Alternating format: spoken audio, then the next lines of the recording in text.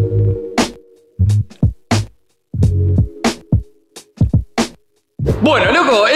que vamos a estar haciendo en el proyecto del Porschita, que como vieron en los últimos videos, ya pintamos el vano, ya pusimos el motor. O sea, el motor debería estar puesto de forma permanente, aunque ahora vamos a estar desarmando nuevamente todo el frente, que solo lo puse para ver cómo se vería finalmente esto, para ganar de nuevo esa motivación, que nunca la perdí, pero bueno, esto es como que me hace levantarme más temprano y acostarme más tarde pensando en esto. Lo que vamos a estar haciendo el día de hoy es convertir este auto de automático a manual, porque si recuerdan, este era un 2 litros automático. Entonces tenemos el pequeño problemita de que no tenemos selectora ni tampoco pedal de embrague. Así que para eso tengo varias partes que fui a un desarmadero para conseguir y algunas que otras nuevas. Vamos a intentar hacer que funcione porque no tengo todo para armarlo de forma original, o sea, plan play como, como estaría buenísimo poder hacer, pero bueno, creo que va a salir bastante bien. Entonces, para la selectora compré una selectora de Gol Trend, porque ya sabemos que esta caja yo la tenía puesta en el golcito, el golcito no está más ahí, bueno, el golcito estaba ahí. Esta caja la tenía armada en el Gol y tenía la selectora de gol que funcionaba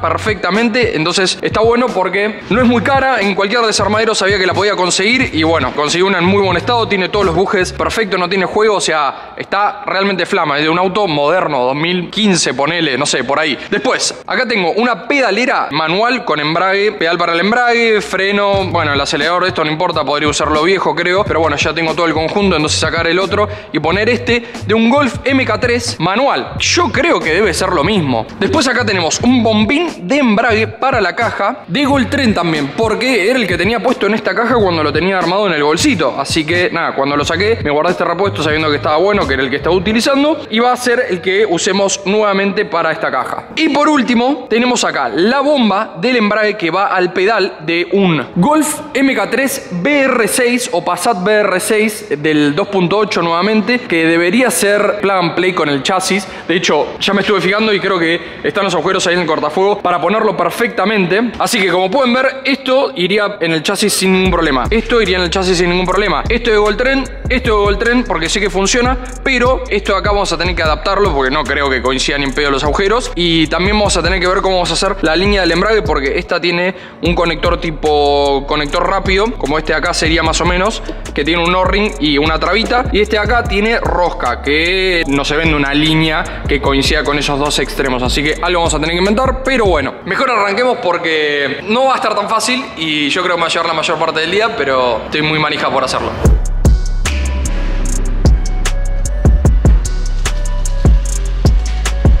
Así que vamos a empezar por desarmar todo lo original que es del automático para poder poner las piezas manuales. Una lástima porque esto lo compré nuevo porque pensé que lo iba a usar siempre en automático y me lo hice traer de afuera todo, lo pagué una moneda y bueno, nada, no lo podemos usar ahora. Ah, capaz que se lo puedo poner al otro, ¿será? ¿Será mucho chucu si le meto esto a la selectora? Ojo, eh. Ojo que me gusta la idea. Si vieron la serie de videos del E46 habrán visto que ese también lo convertí de automático a manual y le dejé todo lo, lo que aparenta automático a la selectora. O sea, le dejé todas las molduras estas que todavía tiene el parking, el reversa, el neutro, el directa, todo eso se lo dejé, pero porque me permitía tener juego para los costados y poner la selectora manual. Este acá es solo para adelante y para atrás, así que no me va a dejar hacer eso, por lo que voy a tener que cambiar esto que también lo compré. Pero bueno, es muy simple. Tuki, a presión. Listo. Bueno, creo que para sacar todo esto tengo que sacar acá estas dos tuercas de plástico y después tenemos unos buloncitos ahí de costado, uno de cada lado y saldría. Ahora, para analizar un poco lo que tenemos acá, ¿no? Acá tenemos un cable que esto, por lo que puedo ver, es de la llave. O sea, cuando le sacamos la llave y esto nos permite moverlo. No importa, vamos a sacar toda la mierda porque no lo vamos a utilizar más. Es como una traba no, no puedas poner en marcha sin estar en contacto. O algo así. No entendí. Bueno, para terminar de sacar la consola central acá tenemos una tercer tuerquita de plástico ahí metida adentro esa de ahí. Y para poder llegar a ella tenemos que mover esta parte de atrás que tiene dos tornillos. Uno de acá, de este lado y otro de este lado con esas tapitas plásticas que hacen que sean bastante difíciles de encontrar con un tornillito cabeza Philip que bueno, sacas esos dos y ya esto te queda suelto, lo corres para atrás, sacas ese, sacamos esto así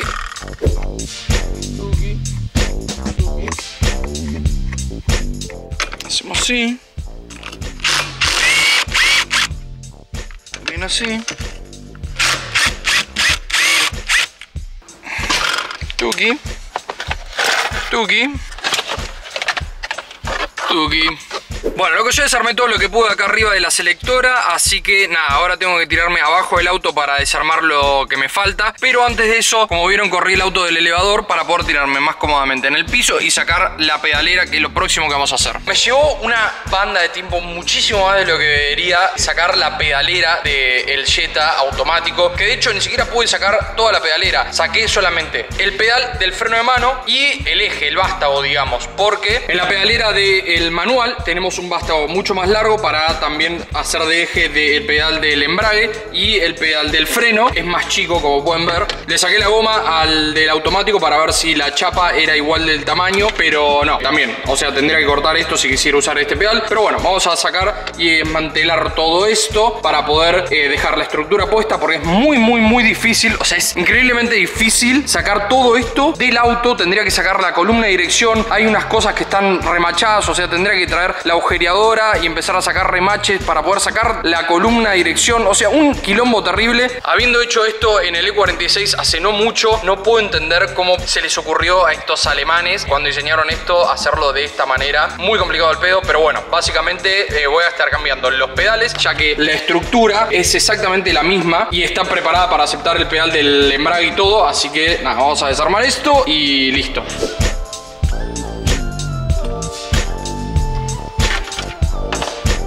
Bueno, listo. Ya tenemos afuera el pedal del embrague, el pedal del freno y acá podemos comparar el freno viejo con el, o sea, del automático con el del manual, que son prácticamente lo mismo, pero acá pueden ver el vástago del automático comparado con el, el del manual, así que sí, si quisieran convertir un Jetta, Golf, MK3, alguna de estas variantes de automático a manual, solamente tendrían que cambiarle estas tres piezas, o sea, listo, ya con eso está. Después el eje de acá, el buje, son todo lo mismo, las trabas son todas iguales, me parece que no necesitaría nada más de este pedazo. Ah, y algo hermoso. O sea, esto es lo único que me hizo calentar hasta ahora de, la marca, del proyecto, porque es increíble que sea todo intercambiable entre Porsche, Volkswagen, Audi. Pero bueno, esto se complicó. Lo lindo es que el pedal del embrague está diseñado para tanto cable, que originalmente este venía con embrague a cable y yo lo quiero convertir hidráulico, pero tiene acá abajo el soporte para el bombín hidráulico, este que tengo acá, que es el del BR6, porque este vino una variante que venía con el BR6 y ese sí traía embrague hidráulico, así que el pedal está listo para aceptar ambos, hidráulico y a cable. Y yo le voy a poner hidráulico. Entonces nosotros venimos acá, empujamos esto para adentro. Tuki. Tuki. Tuki. Y ya estamos. Ahora, la joda de esto es que a simple vista yo lo veo igual al del Bora, porque el del Gol me parece que es más corto el vástago y no me daría el largo, pero yo te juro que el Bora 1.8 Turbo es prácticamente la misma pieza, solo que el cuerpo es de plástico, el vástago sigue siendo metálico, el largo me parecería a simple vista igual, la distancia, o sea, la brida esta, los agujeros para los bulones igual, solo que en lugar de tener acá rosca, eh, tendría un conector rápido, al igual que tiene el bombín del Gol que voy a usar para la caja, así que sería ideal ponerle uno de esos porque compartirían la línea y no tendría que adaptar la línea que voy a tener que hacerlo con este sistema pero bueno ya compré esto así que nada vamos a ver qué pasa. Entonces esto así tiene que hacer así y también así. Mira qué lindo mira qué lindo mira qué caño qué caño ¡Qué caño! Y gracias a los dioses fierreros, gracias Dios, el recipiente del líquido de frenos tiene el piquito sellado para alimentar la bomba del embrague. Así que nada, es cortar el piquito este, poner una manguera de ahí a ahí y listo. Ya tenemos alimentación de líquido de frenos para el embrague. Después hay que hacer la línea de allá, acá, que vamos a poner el bombín este que vendría acá. Tuki. Así. Entonces, vamos a ver cómo hacemos la adaptación de esa línea. Bueno, loco, la pedalera ya está ready. Tengo los tres pedales listos para ser utilizados. Así que nada, el freno obviamente ya está purgado, ya puse el, vástago todo. El embrague hay que terminar de poner la bomba del otro lado. Y el acelerador le tengo que poner el cable. Así que nada, está por ahí soltito. Así que nada, me alegra haber hecho esto porque acabo de descubrir cuál fue la parte más difícil de todo el swap. Y fue cambiar la pedalera. No les puedo explicar lo que sufrí, lo que putié y bueno, rompí algunas cosas. Así que no fue nada fácil. Me alegro que ya está, no lo tengo que volver a hacer. Bueno, loco, como vieron, ya puse la pedalera, ya puse el bombín y la bomba del embrague. Bueno, las presenté, ¿no? Y ahora lo que tenía que hacer era conectar esas dos, pero estaba teniendo el problema de que uno tiene rosca y el otro tiene conector rápido. Y la verdad es que pensé que iba a ser más fácil adaptar eso, pero resulta ser, después de haber pasado por 4, 5, 6 casas de repuesto, la que voy siempre, que me conocen, que sabe que invento cosas raras y siempre me dan una mano para decir, tipo, bueno, mira, vos querés conectar esto con esto, te conviene capaz que si agarras esto, digo, uy, sí, voy al tornero y después hago una piecita. Bueno, cuestión que era prácticamente imposible adaptar de conector rápido a la rosca sin pasar por el torno, pero también tenía que comprar esta manguera para ver las medidas del conector rápido, porque tampoco tengo uno para decir, tipo, bueno, estas son las medidas, este es el o-ring, qué sé yo. Así que nada, lo que terminé haciendo, que me pareció lo más rápido, sí es más caro, porque aparte de haber comprado la manguerita esta, me terminé comprando también otra bomba de embrague de un polo. Esta bomba es mucho más moderna, tiene conector rápido, así que no voy a tener que hacer ninguna adaptación. Y después la brida es exactamente la misma de esta otra, solo que no tiene los espárragos clavados. Y el largo del vástago es prácticamente el mismo. Esta es un poquito más larga, pero bueno, no creo que nos traiga ningún inconveniente. Después, por lo que estuve viendo, que vi, no le jodo, de este modelo habré visto 6 o 7 modelos, todos cambian un poco el largo del vástago. Sé que viene una con el vástago de metal, que yo es la que puse en el gol y puede hacer como regulable, porque lo corté y lo soldé, así que eso era fácil, pero está inconseguible. Y después, nada, las trabas estas son para todos los modelos de Volkswagen prácticamente la misma, así que en lugar de poner esta que sería original para el chasis, vamos a estar poniendo esta otra y va a ser más fácil. Así que vamos a agarrar estas tres cositas y ponerlas.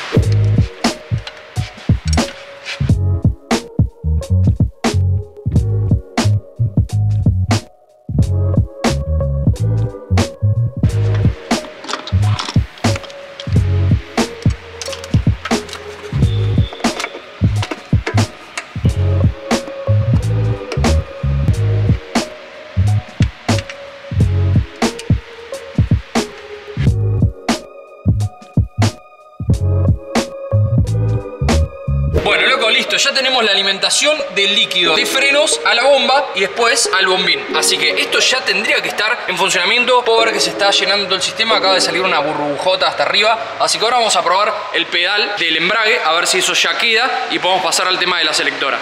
No hay nada peor que purgar un embrague. Puede ser eso un poquito.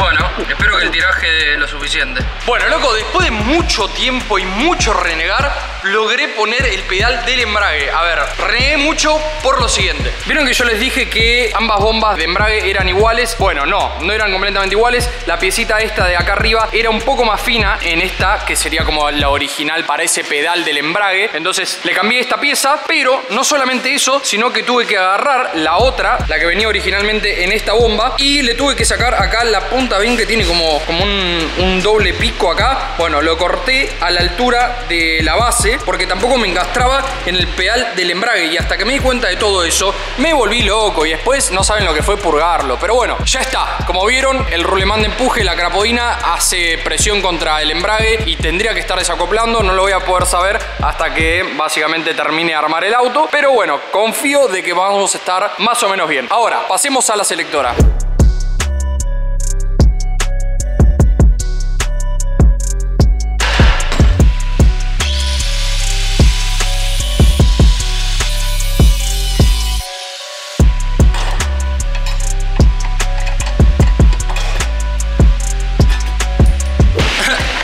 Solo. Mirá los buracos que tiene, Dios mío. Por favor.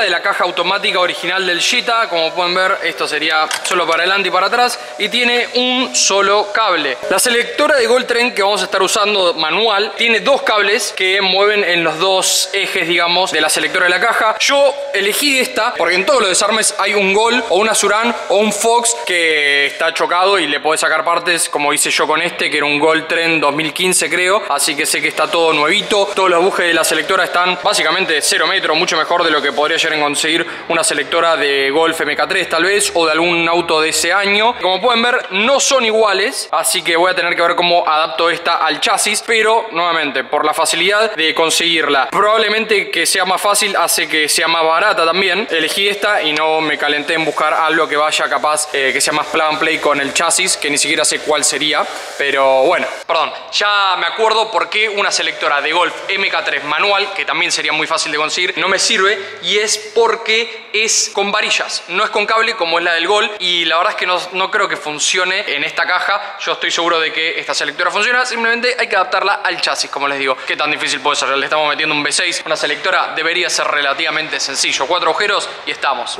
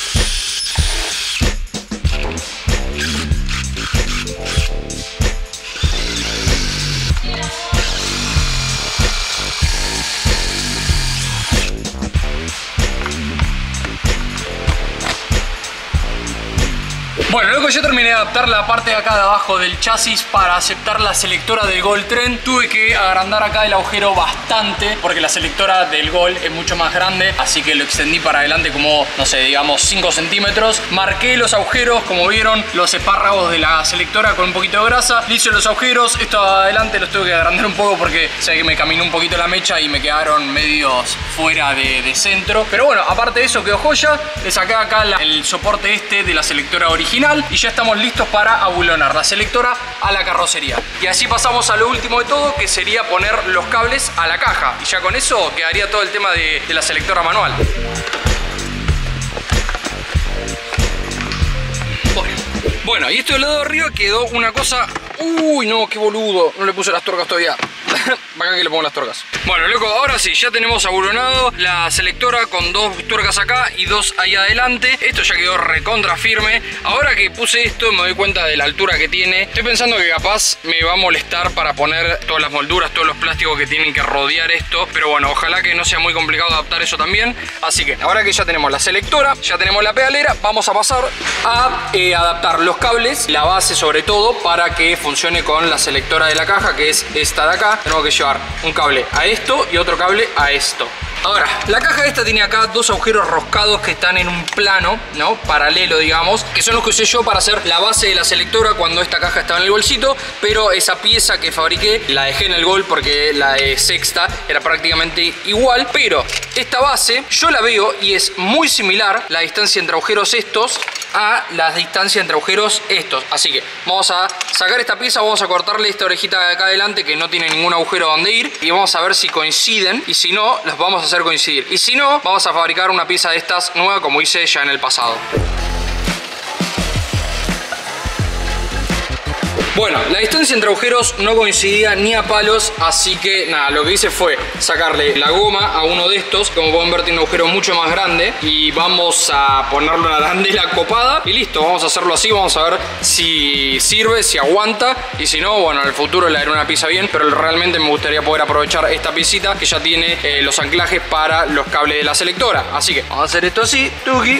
Bueno, loco, al final eh, la base de la selectora de plástico no la voy a poder utilizar porque tengo que cambiar los cables del lugar y bueno, voy a tener que hacer una de cero, así que vamos a estar estrenando un juguete nuevo porque la gente de RMB me dio para que pruebe una cortadora de plasma. Y bueno, vamos a estar cortando la base y también los soportes para los cables que si no tendría que hacerlo capaz que con una sierra copa. Me llevaría mucho tiempo y también estoy estrenando máscara nueva que viene con un lente mucho más grande y con todo cero metro, o sea, vos mirá, mirá por ahí. Esta nueva, mirá, mirá cómo se ve, nada, una cosa de locos y es gigante encima, o sea, fíjate que esta es normalmente una máscara de soldar y esta es el doble por lo menos. No, no, no, no. También porque se viene el escapecito de acero inoxidable, obvio. Pero bueno, vamos a probar a ver esto cómo sale. No, no tengo ni idea cómo. Hace mucho que no uso un plasma de mano. Tenés que saber usar plasma. En pantalones cortos, la peor idea del mundo. Si te meten todas las chispas adentro. Ponete las mangas de soldador como pantalones. Como la manga.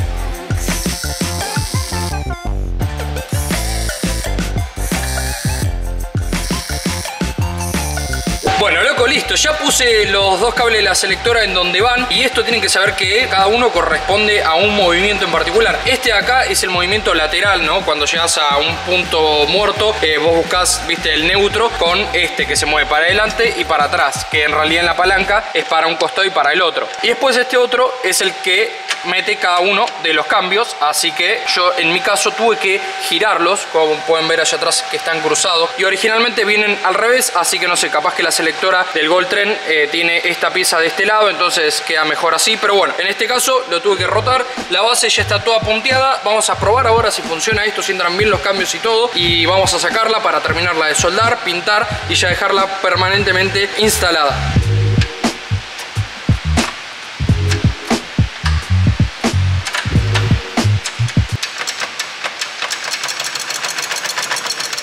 Bueno, ahora podemos probar, ya vieron que funciona, pero tenemos primera, segunda, tercera, cuarta, quinta y después para abajo a la izquierda, Vi un par de cajas de sexta publicadas en Marketplace que me parece que son muy similares a esta y podría llegar a adaptarla cambiando el cubre volante o la campana de la caja, pero no, no lo voy a hacer. Total, una caja de quinta es más que suficiente para este auto. Cuando tenía el bolsito con la caja de quinta, la verdad que en ruta iba a flama. Así que esto ya quedó. Vamos a ver si tenemos un ratito para armar todo esto para ver si va a quedar bien la selectora con todas las molduras, pero en sí este laburo ya está terminado. Ya tenemos la selectora y el embrague instalados de forma permanente, o sea, ya están funcionando perfectamente. Bueno, acá pueden ver la base que le armé a los cables de la selectora usando esos dos agujeros de la caja que les dije y bueno, estos son los soportes de los cables en sí. Acá tenemos el soporte original y pueden ver que el agujero más alto estaba del lado izquierdo, ahora está del lado derecho y el lado más bajo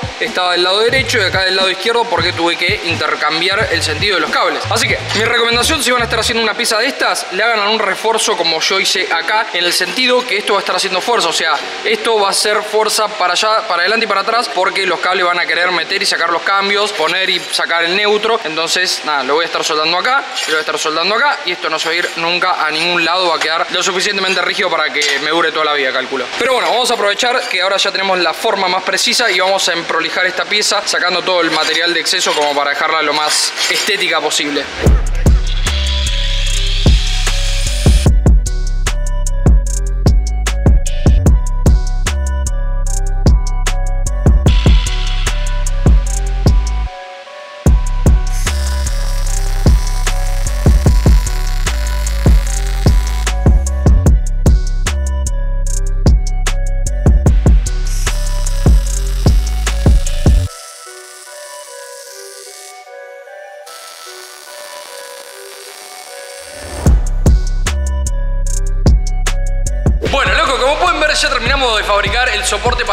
Ya lo tengo pintado, así que vamos a instalar esto y dar terminado esta parte del proyecto, que no es poco, porque la verdad es que todo esto me costó bastante, no solamente es el tema del swap, sino la conversión a manual, no fue nada fácil, así que vamos a, a terminar esto y ya seguir con otra parte del proyecto. Como pueden ver, la pieza en sí no es muy compleja, o sea, es relativamente sencilla, está muy bueno. Como vieron, hasta ahora no usé ni una sola vez la TIG, siempre soldé todo con la MIG porque es mucho más fácil poner las piezas en su lugar, presentarlas como tienen que ser y puntear con la pieza instalada básicamente. Así que eso es mucho más rápido, está mucho más fácil todo y en eso le gana a la TIG por afano. La TIG sí te deja unos cordocitos mucho más prolijos y bueno, podemos discutir todo el día si la soldadura es más fuerte o no. Pero bueno, vamos a instalar esto y ya estamos. Listo, loco, ya tengo todo armado por última vez. La base de la selectora quedó ahí pintadita de negra, quedó perfecto, muy disimulado. La verdad es que viene quedando todo increíblemente bien. Tengo que armar el interior del auto, pero eso lo voy a estar dejando para otro video porque todavía no quiero volver a armar todo el interior sin saber si no lo tengo que volver a desarmar. O sea, no quiero volver a armarlo ahora y en otro video decir, uh, tengo que volver a sacar todo lo que puse porque la verdad es que no fue nada fácil. Desarmar partes del interior es extremadamente difícil y no puedes ser tan bruto como suelo ser yo porque si no rompes todo y después te drásticamente. Así que bueno, loco, acá voy a estar terminando este video. Esa fue la conversión del Jetta MK3 de automático a manual para el proyecto del Porsche. Viene quedando todo increíblemente bien. La verdad es que no puedo estar más contento con el proyecto. En breve arrancamos con la instalación de la computadora programable. Sí, este motor va a ser controlado por una computadora programable de nada más ni nada menos que Racetech. Así que sí, vamos a estar poniendo nuevamente una Racetech R1000 que, bueno, me funciona increíblemente bien en el BM, que ya lo pueden ver ahí atrás. Y bueno, sé que el el BR6 este no va a tener ningún problema para hacer todo lo que yo le pida. Así que bueno, loco, espero que hayan disfrutado muchísimo el video y nos vemos la próxima.